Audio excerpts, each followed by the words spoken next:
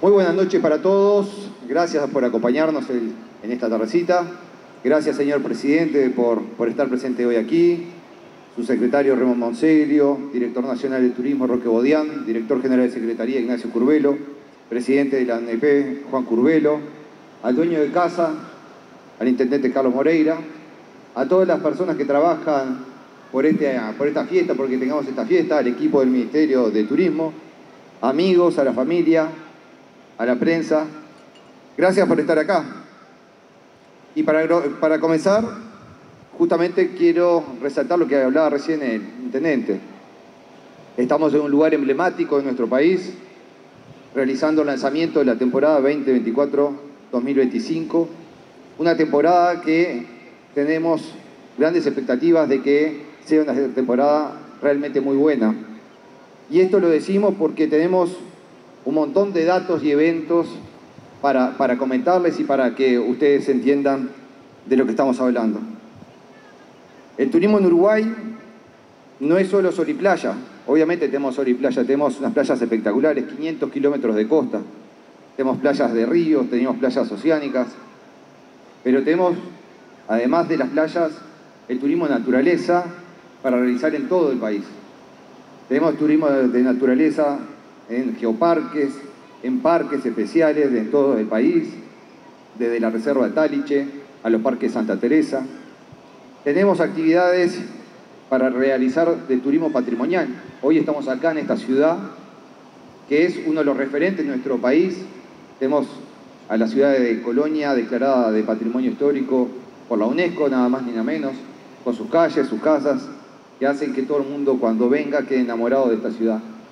Pero también tenemos, pues, desde, el punto de vista patrimonial, tenemos a Montevideo, el Palacio Legislativo, Rocha con la Fortaleza Santa Teresa del Fortín de San Miguel, la represa hidroeléctrica de Cuñapirú, tenemos también el frigorífico Anglo en Paysandú, también declarado de patrimonio por la UNESCO. O sea, como verán, Uruguay no es solamente sol y playa, tiene muchísimo para reconocer, para conocer, para sorprenderse, para disfrutar con la familia, con los amigos. También nosotros tenemos una calidad de servicios que son espectaculares.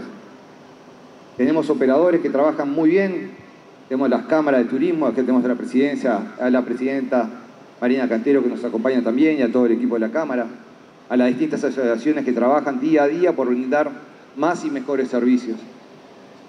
Pero esos servicios no alcanzan solo con las cualidades que tenemos nosotros de esa cualidad que son reconocidas, esa cualidad de, de, bonomía, de ser amables y gentiles, sino que además hay que capacitarse y emprender y, tratar de que todos los días tengamos un poco mejor en la calidad de los servicios. Y para eso el Ministerio ha trabajado muchísimo con las cámaras, con las asociaciones, para contratar expertos a nivel internacional para que vengan a capacitarnos y también así ir nosotros al exterior para capacitarnos tanto los funcionarios del Ministerio como la gente, los operadores y, los representantes de las distintas cámaras y colectivos. Pero también nosotros brindamos mucho más que eso, por Uruguay es mucho más. Hoy vamos a presentar eh, una, designación de que Uruguay es más que un país. Y esto es una, designación que no, pretende eh, socavar lo que es Uruguay natural, sino que complementa lo que es la marca y la vamos a presentar luego.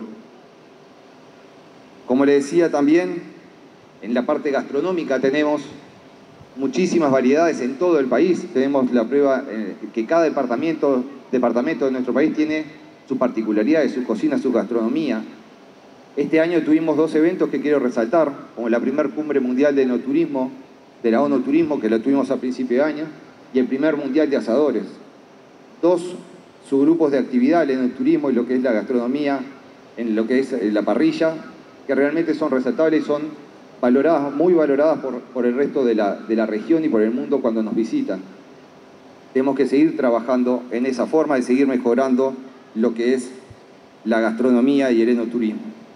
Pero Uruguay recibe 3 millones y medio, casi 4 millones de turistas anuales, no solo por eso, sino porque nosotros entendemos que la industria del turismo es una industria realmente muy importante. Hoy genera 125 mil puestos de trabajo directos y 300 mil indirectos aporta 7 puntos del PBI a la economía nacional. Es la segunda la segunda fuente de ingreso del país después del sector agroexportador, si será importante el turismo para nuestro país. Pero por eso hemos mejorado y hemos estado invirtiendo en infraestructura, en infraestructura que sea sostenible, sustentable, accesible, porque hoy lo que tenemos que tratar de entender es que todos puedan realizar la actividad turística en nuestro país.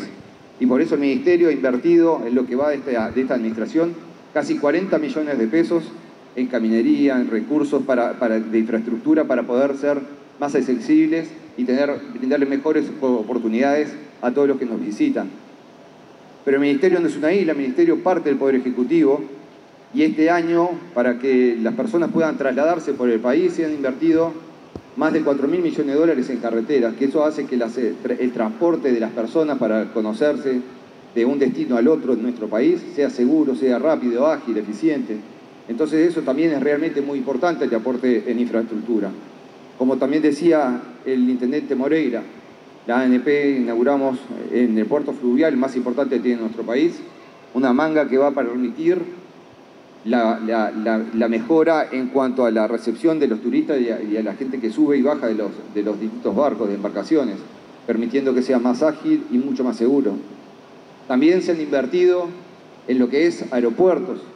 Uruguay es un país, un destino que está creciendo en cuanto a la conectividad aérea y eso hace que, por ejemplo, hoy tengamos un vuelo que hace 25 años no teníamos que conecta la ciudad de Montevideo con Salto en 45 minutos. Imagínense todo lo que eso genera para, el desarrollo de ese sector que realmente con la pandemia ha sido bastante golpeado y que nosotros hemos tratado de impulsar para, para que vuelva a ser lo que, lo que fue y seguir mejorando para que tenga aún mejor futuro. Eso conecta toda la región con el, eh, con el aeropuerto Paysandú. Hace que, por ejemplo, de Montevideo Salto vayamos 45 minutos, pero estamos a una hora de, Artigas de Salto.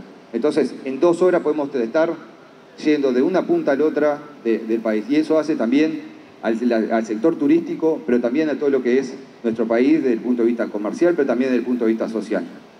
Así que por todo esto es que nosotros también estamos trabajando muchísimo en lo que es la parte de la inserción internacional. Nuestro país ha estado vinculado de forma muy importante con los organismos, los principales organismos internacionales de turismo y este año hemos sido ratificados como, sede del primer Observatorio Legal de Turismo del mundo. Y eso, eh, para nosotros, para el equipo que, dirijo en esta oportunidad, uno de los grandes baluartes tenemos de, ese reconocimiento es el doctor Ignacio Curvelo, el doctor Julio Facal, que es otro especialista que trabaja con nosotros desde el punto de vista externo, también integra el, comité, el Comité de Ética de la ONU Turismo. Y eso nos da seguridad, nos da garantía a la hora de invertir, a la hora de, utilizar los, distintos servicios, nuestros derechos, saber cuáles son y tener una normativa jornada y actualizada para el tiempo que corre. Sin ningún lugar a dudas, hoy tenemos muchísimo para festejar y para celebrar, así que como les decía, tenemos para realizar actividades turísticas en todo el país. Este es el, el puntapié inicial. Los invito a conocer nuestro país, todo el país, sol y playa, el interior de nuestro país, cada una de las ciudades. En esta noche vamos a estar celebrando justamente eso y festejando el inicio de la temporada. Gracias a todos por estar acá. Muchas gracias.